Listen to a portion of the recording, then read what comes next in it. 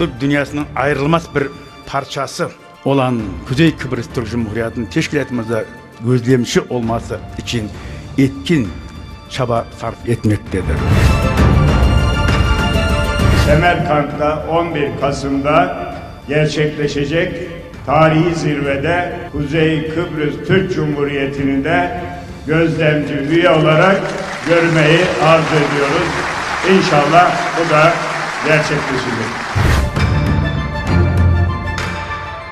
Kuzey Kıbrıs Türk Cumhuriyeti'nin önümüzdeki ay Semerkant'taki toplantıda inşallah Türk Devletleri Teşkilatı'nın gözlemci bir üyesi olarak kabul edilmesinden dolayı duyacağım büyük sevinci paylaşıyorum.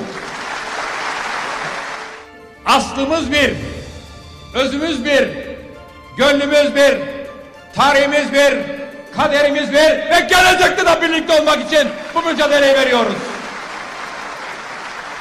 birlik ve beraberlik içerisinde direnebilen o gönül bağları ile gönül coğrafyamızdaki, gönül dünyamızdaki güçler bizi yıllar sonra bir araya getirebilmiş.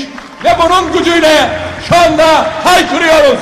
Ve bizlerin birlik ve beraberlik içerisinde yaşadığımız her yerde hayatın, egemenliğin, bayrağın, milletin, vatan sevgisinin daha da önemli bir noktada bizleri birleştiren bir unsur olarak bizlerin güç kaynağı olma devam edecek.